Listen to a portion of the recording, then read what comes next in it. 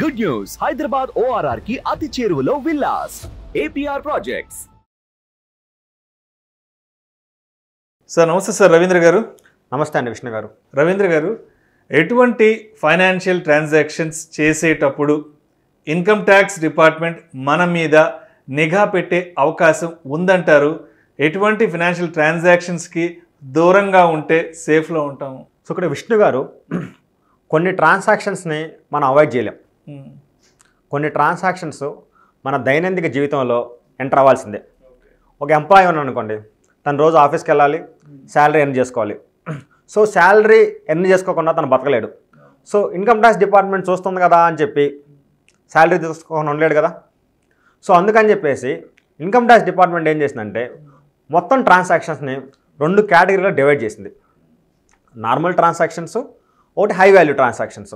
So normal transactions అంటే ఒక person చేసే ప్రతి పని అంటే ఆ పని బట్టి తనకు వచ్చే ఇన్కమ్ని బట్టి ఆ స్టేట్మెంట్ ఏ ఏఐఎస్ అని ఒక రిపోర్ట్ జనరేట్ చేసింది. Annual information statement. సో అంటే ఒక పర్సన్ డ్యూరింగ్ ద ఇయర్లో అంటే first April the year start అయినప్పటి నుంచి థర్టీ ఫస్ట్ మార్చ్ ఎండ్ అయ్యేదాకా ఈ ఇయర్లో తను చేసిన ఫైనాన్షియల్ ట్రాన్సాక్షన్స్ నార్మల్గా జరిగే ట్రాన్సాక్షన్స్ అన్నిటిని ఒక ఫిఫ్టీ త్రీని ఐడెంటిఫై చేసింది. ఫిఫ్టీ త్రీ ట్రాన్సాక్షన్ ఐడెంటిఫై చేసింది. అవి ఎలా ఉంటాయంటే శాలరీ రిసీవ్డ్ ఏమన్నా షేర్స్లో పెడితే డివిడెంట్ రిసీవ్డ్ ఏమైనా ఎఫ్డీ పెడితే ఎఫ్డీ రిస్ ఎఫ్డీ మీద ఇంట్రెస్ట్ రిసీవ్డ్ సేవింగ్ బ్యాంక్ అకౌంట్లో బ్యాలెన్స్ ఉంటే సేవింగ్ బ్యాంక్ ఇంట్రెస్ట్ రిసీవ్డ్ ఏమైనా అదర్ ఇన్కమ్ వస్తే అదర్ ఇన్కమ్ రిసీవ్డ్ అదే పర్సన్ ఏమన్నా వెహికల్ కొంటే వెహికల్స్ పర్చేజ్ చేసినట్టు. సో ఇలాగ ఒక fifty three transactions mutual funds కొన్నాయి shares కొన్నాయి బాండ్స్ కొన్నాయి గోల్డ్ కొన్నాయి. ఇలాగ ఒక ఫిఫ్టీ త్రీ ట్రాన్సాక్షన్స్ని ఒక నార్మల్ పర్సన్ ఎంటర్ అయ్యే విధంగా ఉన్న ఉన్న ట్రాన్సాక్షన్ని ఐడెంటిఫై చేసి వాటిని ఏఎస్లో పెట్టేసింది. సో అది యాన్యువల్ ఇన్ఫర్మేషన్ స్టేట్మెంట్. సో ఆ పర్సన్ యొక్క టోటల్ బయోగ్రఫీ హిస్టరీ మొత్తం అక్కడ రిఫ్లెక్ట్ అవుద్ది.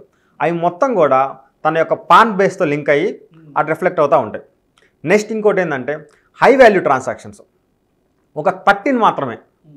ఒక థర్టీన్ ట్రాన్సాక్షన్ మాత్రాన్నే హై వాల్యూ ట్రాన్సాక్షన్స్గా డిపార్ట్మెంట్ ఐడెంటిఫై చేసింది. ఐడెంటిఫై చేసి ఆ రెస్పాన్సిబిలిటీని ఏం చేసిందంటే ఎవరితో అయితే పర్సన్ ఎంటర్ అవుతుందో ఒక ఎస్ఎస్సి ఏ పర్సన్తో ఆ ట్రాన్సాక్షన్ ఎంటర్ అవుతుందో అవతల పర్సన్ మీద గవర్నమెంట్ రెస్పాన్సిబిలిటీ పెట్టింది. అవతల పర్సన్ ఎవరైతే ఎస్ఎస్సితో ట్రాన్సాక్షన్ ఎంటర్ అవుతుందో ఆ పర్సన్ ఎస్ఎఫ్టీ అని రిటర్న్ ఫైల్ చేయాలి.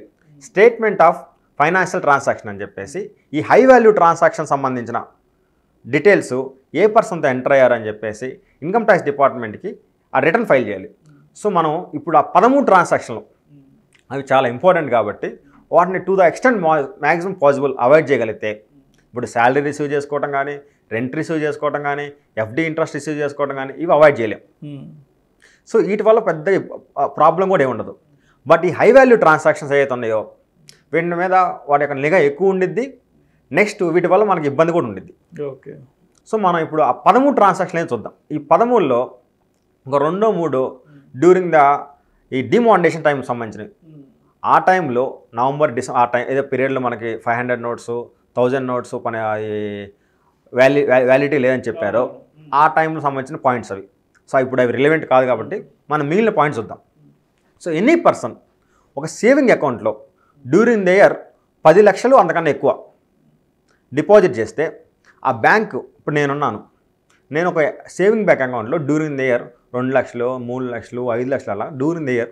Ten lakhs అంతకన్నా ఎక్కువ డిపాజిట్ చేస్తే ఒక స్టేట్ బ్యాంక్ ఆఫ్ ఇండియాలో డిపాజిట్ చేస్తే స్టేట్ బ్యాంక్ ఆఫ్ ఇండియా ఏం చేస్తుందంటే పలానా రవీంద్ర అనే పర్సన్ మా బ్యాంకులో during the year ten lakhs cash deposit చేసిన అని చెప్పేసి ఆ డేటాని ఇన్కమ్ ట్యాక్స్ డిపార్ట్మెంట్కి ఇచ్చింది. సో ఇన్కమ్ ట్యాక్స్ డిపార్ట్మెంట్ ఎంతో నా దగ్గరకు వచ్చింది? వచ్చేసి నువ్వు టెన్ ల్యాక్స్ క్యాష్ డిపాజిట్ చేసావు ఫైన్ వెరీ గుడ్. సో ఆ టెన్ ల్యాక్స్ నీకు ఎక్కడి నుంచి వచ్చినాయి? లెక్కాపత్రం ఏంటి? ఏంటి? అని చెప్పి మనల్ని క్వశ్చన్ చేసింది. సో అది ఒక one of the transaction next so saving bank అకౌంట్లో during the year ten lakhs or more పది లక్షలు అంతకన్నా ఎక్కువ. ఆ రిపోర్ట్ ఇవ్వాలి. అది ఈచ్ ప్యాన్ బేస్డ్ సో నువ్వేం చేస్తారంటే వీళ్ళు కొంతమంది తెలియక నేను ఎస్బీఐలో నాలుగు లక్షలు పెట్టాను. వేరే హెచ్డిఎఫ్సిలో మూడు లక్షలు పెట్టాను. యాక్సిస్ బ్యాంక్లో రెండు లక్షలు పెట్టాను. సో ఎక్కడ పది లక్షలు కాలేదు అనుకుంటారు. మొత్తం మొత్తం డైవర్సిఫై చేశాం కదా అనుకుంటారు. డైవర్సిఫై చేశాను అనుకుంటారు. బట్ థింగ్ ఏంటంటే during the year cash deposit aggregate amount అన్ని బ్యాంక్స్ కలిపి అన్ని సేవింగ్ అకౌంట్స్ కలిపి ఆ పాన్తో లింక్ అయిన అన్ని అకౌంట్స్తో క్యాష్ డిపాజిట్ ఎంత అయినాయో టెన్ ల్యాక్స్ ఆర్ మోర్ అయినాయి మొత్తం మానిటర్ అవుతూ ఉంటాయి. నెక్స్ట్ కరెంట్ అకౌంట్ సో ఇది చిన్న బిజినెస్ చేస్తుందో వాళ్ళు కరెంట్ అకౌంట్ ఇస్తారు. సో ఆ కరెంట్ అకౌంట్లో deposits or withdrawal during the year fifty lakhs కన్నా ఎక్కువ జరిగితే. డిపాజిట్స్ కానీ విత్డ్రాల్ కానీ సో కరెంట్ అకౌంట్ అంటే బిజినెస్ కాబట్టి కొంచెం ట్రాన్సాక్షన్లు ఎక్కువ ఉండే అవకాశం compare to saving account. Saving account అయితే పది లక్షలు కరెంట్ అకౌంట్ అయితే లిమిట్ ఫిఫ్టీ ల్యాక్స్ చేసింది. So fifty lakhs or more ఎక్కువైనప్పుడు ఆ కన్సర్న్ బ్యాంక్ వాళ్ళు ఆ డిపార్ట్మెంట్ వాళ్ళు వాళ్ళంతా ఏం చేస్తారంటే ఇన్కమ్ ట్యాక్స్ డిపార్ట్మెంట్కి ఇన్ఫర్మేషన్ ఇస్తారు. ఎస్ఎఫ్టీ రిటర్న్ ఫైల్ చేసి. సో ఎమ్మంటే వాళ్ళు ఇన్కమ్ ట్యాక్స్ డిపార్ట్మెంట్ వచ్చింది. నువ్వు fifty lakhs or more deposit చేసావు అంటే నీ turnover minimum fifty lakhs ఉండిద్ది. Minimum turnover fifty lakhs ఉండిద్ది. నీకు జిఎస్టీ కడుతున్నావా? ఫిఫ్టీ ల్యాక్స్ ఇన్కమ్ ట్యాక్స్ కడుతున్నావా అని చెప్పేసి మళ్ళీ ఇన్వెస్టిగేషన్ స్టార్ట్ చేస్తుంది ఇక్కడ ఎక్కడ కూడా ఈ ఫిఫ్టీ ల్యాక్స్ డిపాజిట్ చేసినప్పుడు కూడా పది లక్షలు డిపాజిట్ చేసినప్పుడు కూడా ఎక్కడ మనం ఇన్కమ్ ట్యాక్స్ కట్టం? మనం డిపాజిట్ చేస్తున్నాం బిజినెస్ చేస్తున్న సంగతి కూడా డిపార్ట్మెంట్ తెలియదు అంటే మనం ఏదో దాచిపెట్టుకుంటున్నామన్న ఆలోచనలు అనుకుంటాం.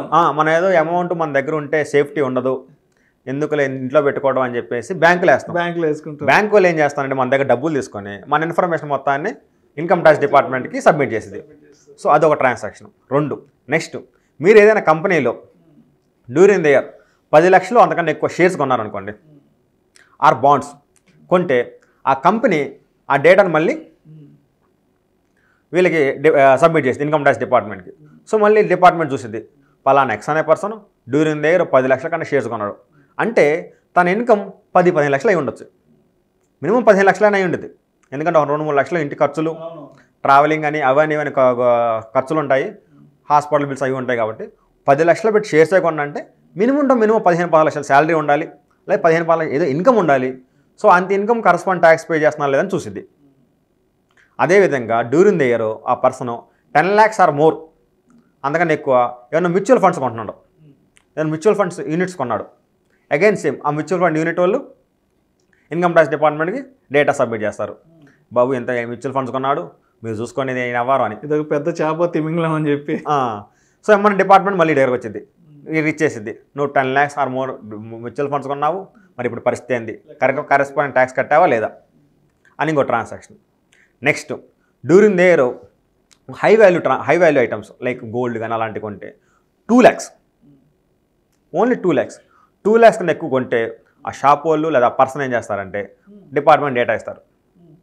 మళ్ళీ డిపార్ట్మెంట్ నువ్వు గోల్డే టూ ల్యాక్స్ పెట్టుకున్నావు నీ దగ్గర ఎన్ని డబ్బులు ఉన్నాయి? ఎమ్మని తీ లెక్క అనేది సో అదో ట్రాన్సాక్షన్ నెక్స్ట్ అదే పర్సన్ డ్యూరింగ్ ద ఇయర్ ఏమన్నా ఫిక్స్డ్ డిపాజిట్ చేసింది అనుకోండి. ఫిక్స్డ్ డిపా ఎఫ్డీలు సరే ఇంకా చాలామంది తెలుసు కదా మీకు బయట డబ్బులు ఇస్తే ఇబ్బంది అవుద్ది వస్తాయో అని భయం. ఏదో పిల్లల పేరు పిల్లల పేరు మీద వాళ్ళ పేరు మీద ఏం చేస్తారంటే ఎఫ్డీలు వేసుకుంటారు. ఆ ఎఫ్డీ అమౌంట్ కూడా డ్యూరింగ్ ద ఇయర్ పది లక్షల కన్నా ఎక్కువ అయితే ఏమన్నా బ్యాంక్ వాళ్ళు డిపార్ట్మెంట్కి ఇన్ఫర్మేషన్ ఇన్ఫర్మేషన్ షేర్ చేస్తారు. అదేవిధంగా బట్ మీరు ఆ ఎఫ్డి అమౌంట్ అంతకుముందు వేరే ఇంకో ఎఫ్డి అమౌంట్ ఉండి ఆ అమౌంట్ ఎఫ్డి అమౌంట్ మెచ్యూరిటీ అవ్వడం వల్ల లేదా ఎఫ్డి అమౌంట్ విత్డ్రా చేసి కొంచెం అమౌంట్ మన పర్సనల్ వాడుకొని మిగిలిన అమౌంట్ సో ఎఫ్డి అమౌంట్లో నుంచి డబ్బులు తీసి ఎఫ్డి చేస్తే ఇబ్బంది లేదు. ఎఫ్డి అమౌంట్ నుంచి డబ్బులు తీసి ఎఫ్డి చేస్తే ఇబ్బంది లేదు. ఎఫ్డి మెచ్యూర్ అవటం వల్ల కానీ ఎఫ్డి బ్రేక్ చేసి కొంత అమౌంట్ ఎఫ్డీలో వేసినప్పుడు ఇబ్బంది లేదు.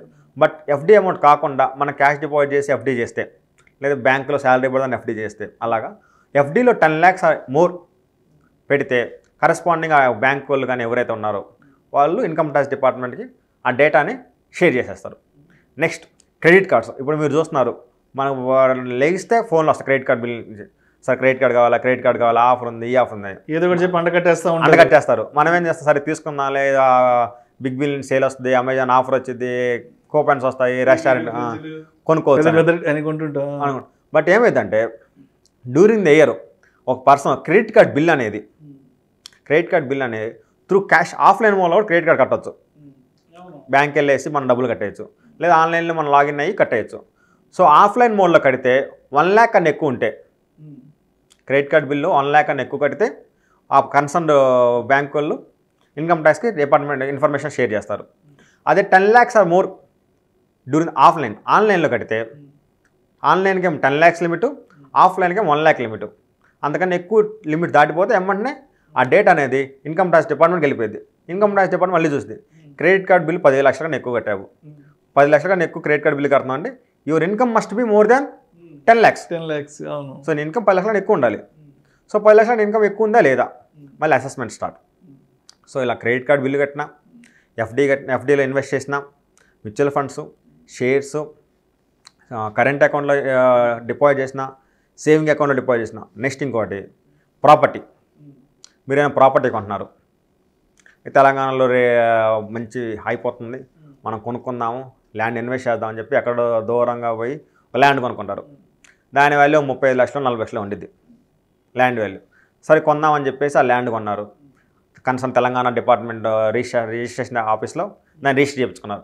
వెంటనే ఆ ప్రాపర్టీ వాల్యూ థర్టీ ల్యాక్స్ దాటిపోయింది కాబట్టి ఆ రిజిస్ట్రేషన్ డిపార్ట్మెంట్. వెంటనే డిపార్ట్మెంట్ ఇది స్టేట్ గవర్నమెంట్. ఇన్కమ్ ట్యాక్స్ అనేది సెంట్రల్ గవర్నమెంట్. స్టిల్ ఈ రిజిస్ట్రేషన్ డిపార్ట్మెంట్ ఏదో ఉందో థర్టీ ల్యాక్స్ దాటినప్పుడు ఆ డేటాని ఇన్కమ్ ట్యాక్స్ డిపార్ట్మెంట్ షేర్ చేసింది. మళ్ళీ సేమ్ థర్టీ ల్యాక్స్ కన్నా ఎక్కువ నువ్వు ప్రాపర్టీ కొన్నావు నీకు డబ్బులు ఎక్కడి నుంచి వచ్చాయి నువ్వు సేవింగ్స్ నుంచి వచ్చాయా అని చెప్పేసి ఆ డిపార్ట్మెంట్ మళ్ళీ ఇన్వెస్టిగేషన్ స్టార్ట్ చేస్తుంది సో ఇలాగా ఈ specific statement of financial transactions ఏదైతే ఉన్నారో రైట్ రైట్ రైట్ వాటిని డిపార్ట్మెంట్కి వెళ్తాం. డిపార్ట్మెంట్ పెట్టినప్పుడు మానిటర్ చేస్తూ ఉండేది మనం ఏం చేసుకోవాలంటే ఎప్పుడు వీటిలో పడకుండా చూసుకోవాలి.